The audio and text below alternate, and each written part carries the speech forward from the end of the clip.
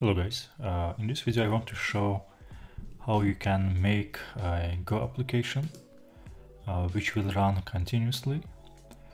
Uh, and also you can like basically add some uh, plugins. So uh, make modular system and also execute application uh, where you can select some modules or disable some modules. And at the end this application will run continuously. And um, to stop it, we can listen to the uh, term uh, interrupt signal. Um, let, let, me first show how, how it works. So basically I have this application running. Um, I am using this um, uh, this application where I have uh, four modules. Uh, two of them is web-based, one is API, uh, a Gin, Go Gin-based API, and another one is a default uh, HTTP website.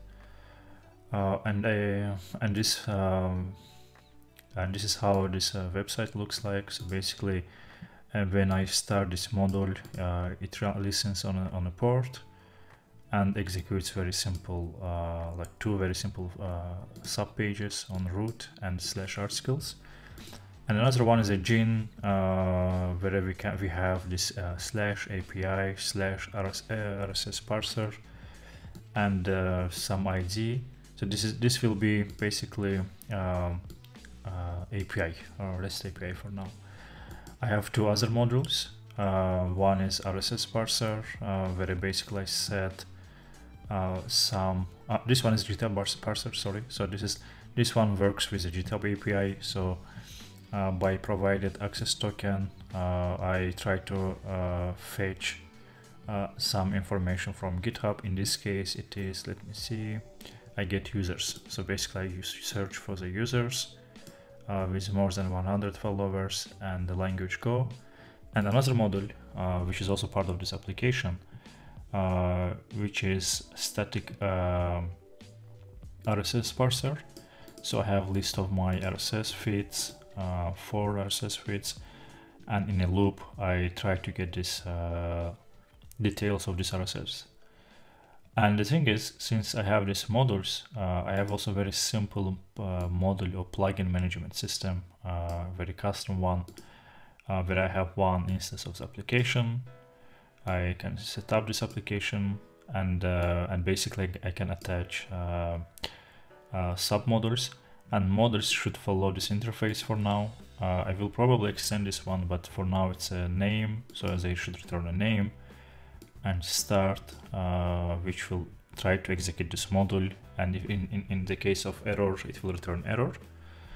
Um, so basically when you attach and at the end when you start, it will go through these modules and try to uh, run a goroutine and, and execute this application and why it's goroutine because some of the models they can uh, they can like uh, execute and wait uh, so, like I forgot the term but they basically execute and doesn't exit uh, from the application. Uh, for example when you do um, so when you start listening it will run endlessly unless you stop it. And in this case it's very useful that it's in a goroutine so it, uh, it runs in one goroutine concurrently and you can uh, execute another one, which is in my case API. So basically when I execute this application, in one side there will be uh, a website, very simple HTTP website, and on the other side there will be API. Uh, and this is very handy. Uh, and basically what I do on a main website, uh, main, main application, if there is a provided flag, I will show in a second how these flags work uh, it will try to attach these uh, modules. So I have one for RSS. So for each of my module, I have a one plug uh, flag. And if this flag is provided, I attach this application, this module. And at the end, I start this application. Uh, probably there is also a better way when you do this through environment. For now, I use environment only for my database connection, as you can see here. Uh, maybe uh, in the future because in this case it's not that dynamic. I mean if you want to uh, like uh, manage a life cycle of the module uh, you have less control by doing this.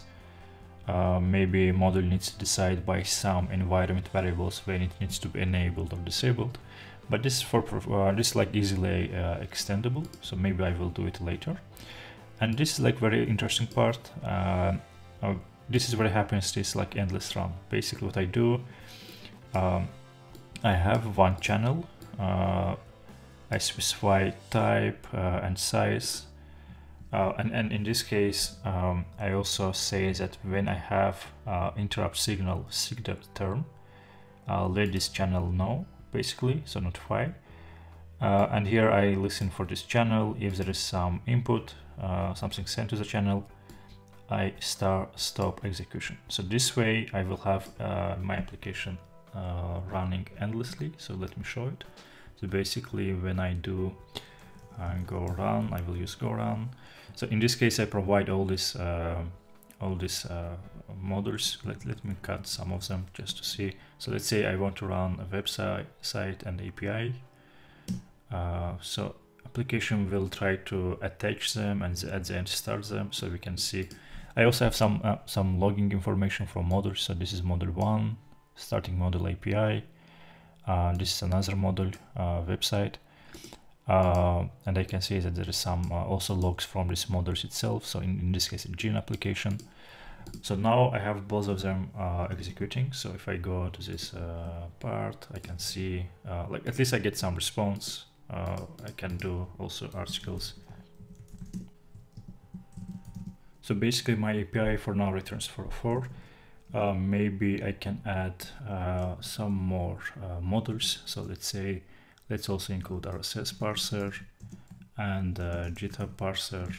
So and, and by doing by doing this, uh, these modules say don't have a web interface, but we can see uh, result of this API uh, module working. So this is output from my RSS parser. Uh, so it parses this website and uh, can get some uh, some links, uh, title, and etc. And somewhere here, I can also see you should see uh, also GitHub. Let me see. Uh, output of the GitHub. Let me see. Where is this GitHub API? Yeah, maybe I can just like try to execute it um, only with GitHub parser. Let's run on the website and GitHub parser. Yeah, and this is output from my GitHub parser. uh, and this is result of my uh, GitHub API based query. So where I get uh, users with some um, uh, some query params. And by, by doing this, we can also like check that uh, we should have also articles running. Yeah, uh, website running. So this is like how uh, we can do, uh, you can have like a simple uh, module system and continuously running application. And by the way, if I want to stop this, I can use Control C. It will stop and send me some nice message. So this is basically how you stop and also I stop uh, like how to say uh, friendly saying that there is no error. I have also case when, for example, it tries to say, uh, so once I, I, have this exit case, it will also try to close database. And in this case, I, I never had the chance to try this one. I will try this one and see, but I expect that if I, it tries to stop and there's if there's an error, uh, it will uh, return a non-zero uh, non-zero value exit code. Uh, but but yeah, uh, for now it's very simple. Uh, I expect to extend this part, so I have more management, more control over the modules. Uh, but it can be used uh, for for very simple module or plugin management and also keep everything under one application.